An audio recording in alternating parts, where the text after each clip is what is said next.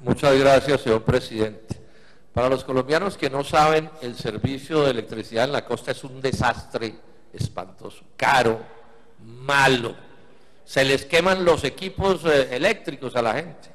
Les doy este dato, entre 2004 y 2009 van 479 personas electrocutadas, electrocutadas, repito, por la mala calidad del servicio eléctrico. Gente que abre una nevera y queda electrocutada. Eso ni se sabe en Colombia, pero así es.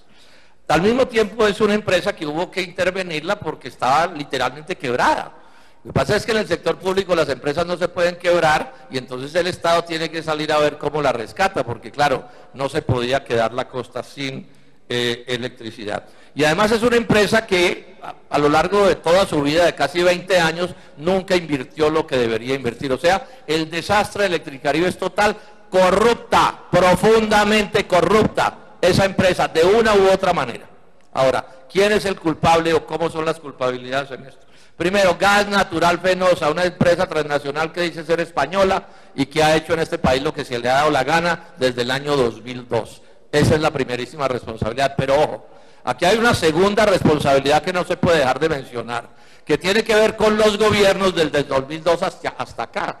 Porque es que resulta que esa empresa actuó en todos estos años en medio de unos gobiernos, de dos presidencias de la República que no asumieron los deberes que deberían asumir. Y además porque aquí hay una normativa legal eh, eh, de, de, manera enferma de neoliberal, estúpida incluso diría yo, para atender un sector como ese, una zona como esa, que necesitaba un tratamiento diferente. Una normativa, repito, tanto tan neoliberal que termina siendo hasta estúpida. Bueno, estas son las realidades que tenemos. Para poder empezar a resolver este problema hay que invertir 7 billones, por lo menos.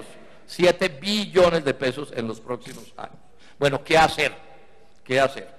El gobierno nacional Santos, empecemos por ahí, propuso operador privado y alza de tarifas. Y eso es lo mismo, así se haya intentado ocultar aquí, es lo mismo que está desarrollando el gobierno del presidente Iván Duque. Operador privado, de pronto incluso Electricaribe, se está diciendo volverlos a traer gas natural venosa con otro nombre y alza de tarifas.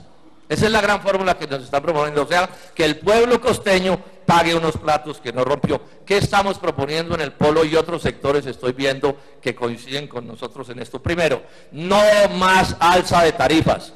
No más alza de tarifas. Es inaceptable que el pueblo caribe tenga que seguir dejando de comer para pagar tarifas. Segundo, recursos públicos del Estado para poder atender las necesidades financieras. Por ejemplo, hemos hablado de plata de regalías, pero en general recursos del Estado no tengo tiempo para detenerme en el detalle. Y tercero, operador público porque no va a ser posible que el Estado resuelva el problema y la empresa se la dejen a un operador privado. Eso es absolutamente inaceptable. Y ojo, operador privado es sinónimo de alza de tarifas. Es imposible de cualquier otra manera resolver este asunto. Entonces, este no es un problema de dogmatismos, este es un problema de soluciones prácticas. Para que no haya alza de tarifas y se resuelvan los problemas, se necesita un operador que sea del sector público con la forma que se quiera. Eh, ejercer. Muchas gracias, señor presidente.